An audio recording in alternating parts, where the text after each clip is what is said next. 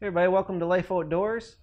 What we got going today is uh, we got a utility winch here and we want to hook it up wirelessly. So what we did is we bought this uh, little module off Amazon. It was only like $20. Comes with this thing here and comes with two remotes.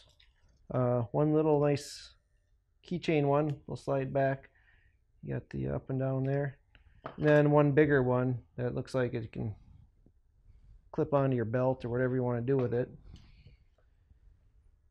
And in order to, to make this work, uh, we had to buy a reversing solenoid, and then we got to wire it to a battery. So currently got a project going on our other channel called Build It Better. Currently building a the most awesome sandbox ever. And this board here is going to be our uh, beam going across the top, holding up a roof. I'm going to use this winch here to raise up and down the roof to it. And I want to do it wirelessly, so that's why I got this project going on today. And I thought uh, while I'm doing it, I'll make a more detailed video for you guys so you can see exactly how it's wired up. Uh, now as far as the winch, I'm using the Champion 2,000 pound utility winch.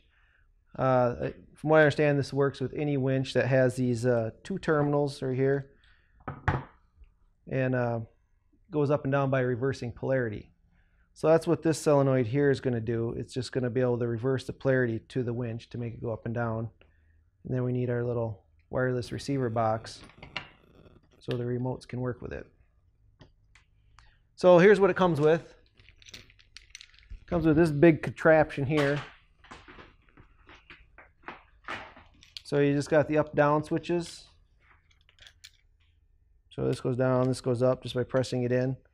And really the problem with this thing is is all the voltage and amps were run through this whole cable up through the switch then back down to the winch. So you got four wires, two of them go to the winch, two of them go to the battery. And then all this thing does is reverse the polarity, the same thing that this little solenoid here is going to do. So we don't really need this in the setup I'm doing. So what I'm going to do is just cut these wires off and recycle them and use them for our wiring in our new system. We'll do that now. Maybe I'll save a little tail on this in case I ever want to use this switch for anything else. Got plenty of wires there. So just snip these off. Alright, I'm just going to take the two labeled that go to the winch already. Already labeled minus plus two winch motor. So make it easy in this winch here, it does say plus or minus on here. I don't know if it matters a whole lot, but we're going to go ahead and just put them on the way it says. Alright, so we got positive, negative hooked on to the winch. Alright, now we got the loose ends here.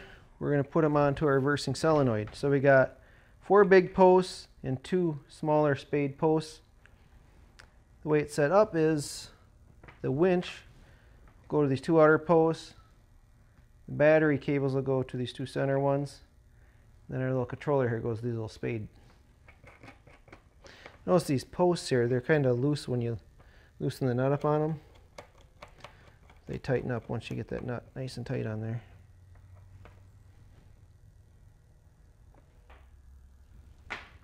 Alright, now I'll take the longer two ones and we'll hook those to the batteries. As you can see, they did come with these these rings on the end, but they don't fit over the post to the uh, solenoid or to the battery up here. So I'm going to replace them with uh, these new ones I got. And this one says to the battery, so I'll just keep that end up there just since it's already labeled. Just cut these pieces off.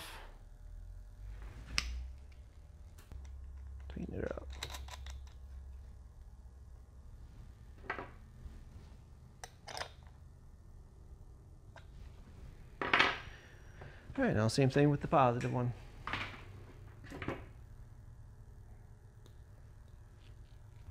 Okay, now we got these two posts. These are labeled battery negative, battery positive. Go ahead and hook up this positive one first. Move the remotes out of the way. Try to do this be a little easier. All right, only one left. The old positive side, or the negative side now.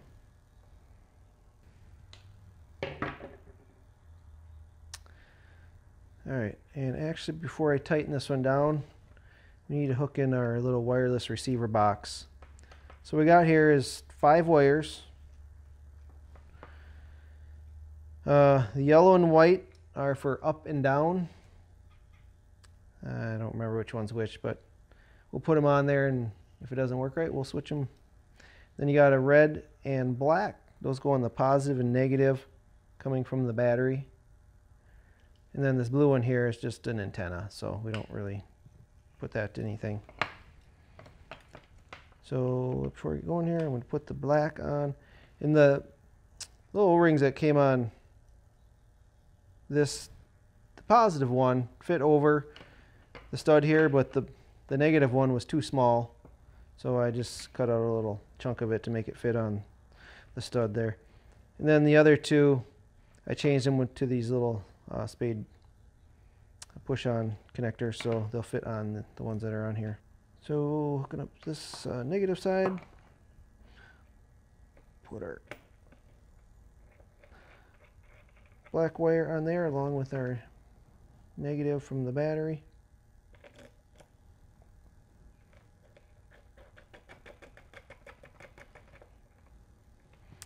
I'll have to take off this positive one to get the other wire on there.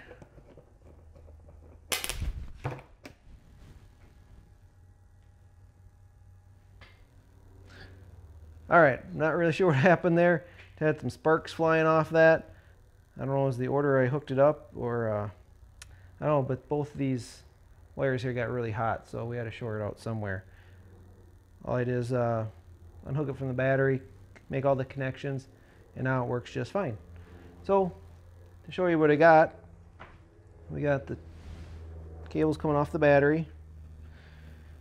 They go down to these two center posts this one here and this one here along with the red and white or I mean the red and black off the wireless controller and then the other two posts here and here just go to the winch and see it in operation can either use either controller seems to work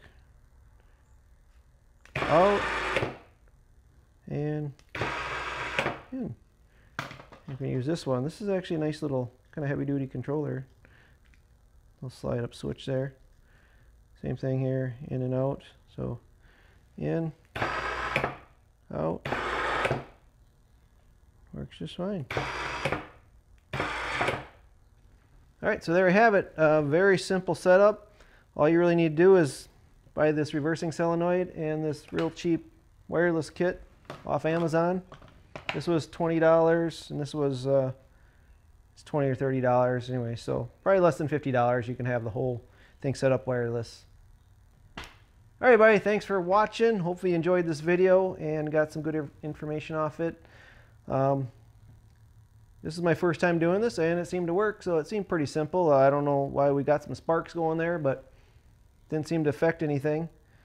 Uh, if you got any suggestions or any comments about how I could have done this better, if you got a different way of doing this, yeah, just leave it in the comments below and uh, let me know. Again, thanks for watching.